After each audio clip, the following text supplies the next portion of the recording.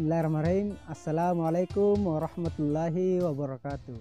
Perkenalkan nama saya Asdar, asal Dusun Birempanting, Desa Irelembang, Kecamatan Tombolupau, Kabupaten Goa, Provinsi Sulawesi Selatan.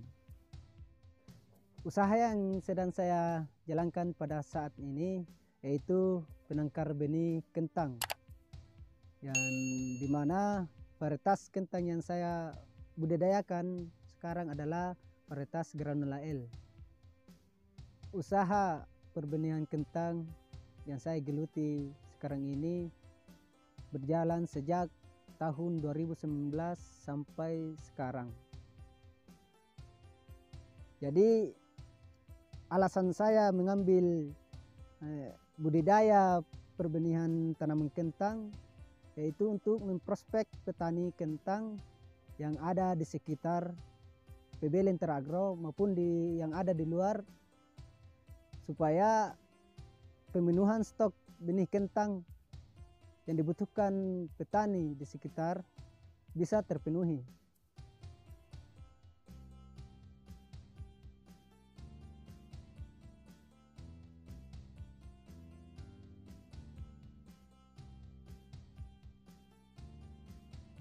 awal mula usaha yang saya kembangkan sekarang berawal dari niat yang kuat.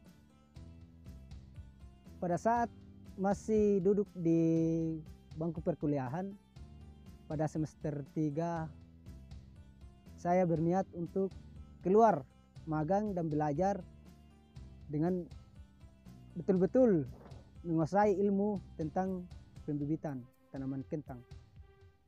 Saya memutuskan untuk magang di luar daerah yaitu di Jawa Barat tepatnya di Kecamatan Pangalengan. Di sana saya sangat banyak belajar tentang pembibitan tanaman kentang.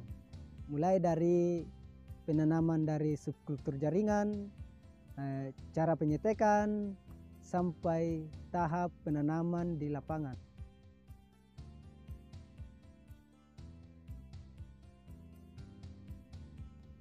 Jumlah GH yang dimiliki oleh PB Lentera Agro sudah jumlah 4 unit yang di mana tiga unit tersebut masih terbuat dari bahan bambu dan satu unit terbuat dari bahan permanen seperti baja ringan.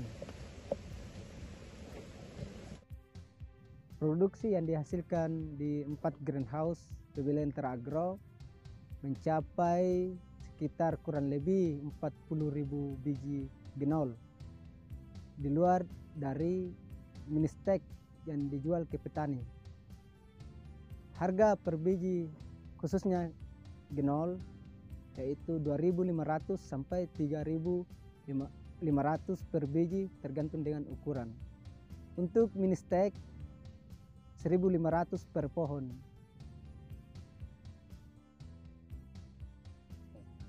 Untuk skala produksi 40.000 biji kami ingin memaksimalkan produksi sehingga bisa mencapai 100.000 biji dalam empat greenhouse.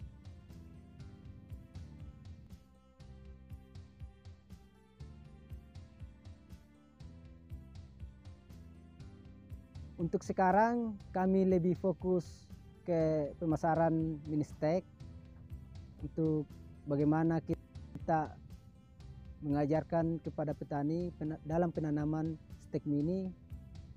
Karena stek mini dibandingkan dengan genol lebih murah dan bercerita tentang kualitas antara genol dengan steak mini ya, sama kualitasnya sehingga kita lebih condong untuk memproduksi steak mini dalam jangkau panjang.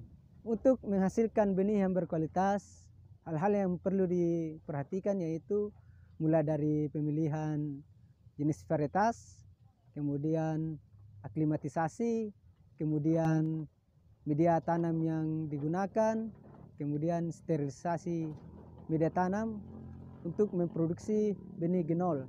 Kemudian genol kita tanam budidayakan menjadi benih kentang bersertifikat G1 sampai ke benih kentang bersertifikat G2.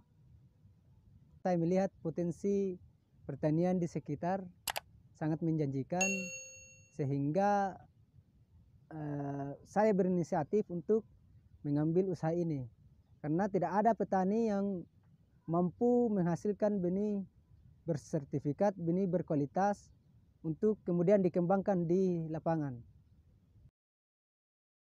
Untuk membangun usaha ini sangat banyak suka dukanya. Terutama untuk meyakinkan kedua orang tua, kemudian meyakinkan keluarga, kemudian meyakinkan sebuah masyarakat sekitar. Media tanam yang saya gunakan di greenhouse ini ada tiga. Pertama, kokopit. Kedua, aram sekam. Ketiga, pupuk organik.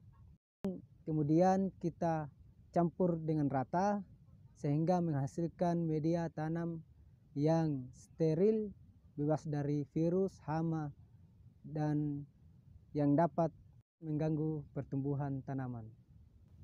Umur yang diperlukan tanaman kentang dalam produksi benih, khususnya benih genol, yaitu antara 4 bulan setelah tanam sampai 6 bulan setelah tanam. Tergantung dari media dan nutrisi yang kita berikan kepada tanaman.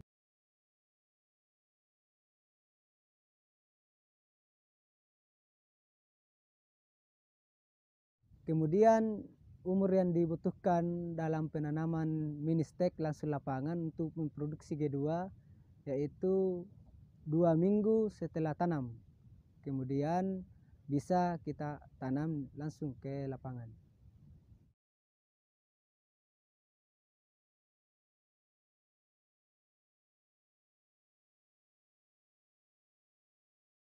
Pesan saya kepada petani milenial Indonesia, jika Anda ingin sukses, maka Anda akan sukses. Jika Anda ingin kaya, maka Anda ingin, akan kaya. Untuk itu, marilah berproses, marilah berpikir semaksimal mungkin, meraih cita-cita, meraih impian, dan semoga apa yang kita jalankan, apa yang kita usahakan bisa dapatkan hasil yang sesuai dengan yang kita harapkan.